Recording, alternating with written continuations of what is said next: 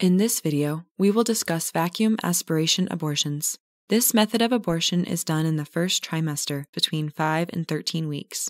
Please be warned, this video will contain graphic content and may not be suitable for all viewers. Usually, vacuum aspiration abortions are performed if the mother chooses not to take the abortion pill. There are two types of vacuum aspiration abortions.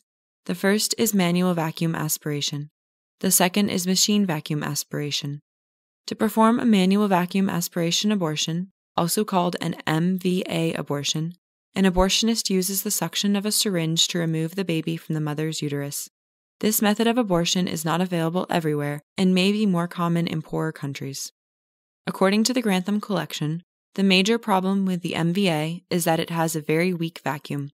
This means that the child is ripped apart slowly. A machine vacuum aspiration abortion is performed in a similar way. This method uses a small tube called a cannula. This tube is inserted into the uterus and attached to a pump.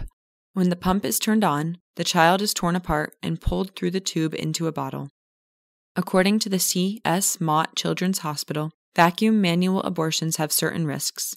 Their website states some problems may include failure to end the pregnancy, tissue remaining in the uterus, injury to the cervix, a hole in the wall of the uterus, heavy vaginal bleeding, infection. Clearly, vacuum aspiration abortions are a horrific practice. Thanks for watching. Please like, subscribe, and turn on notifications.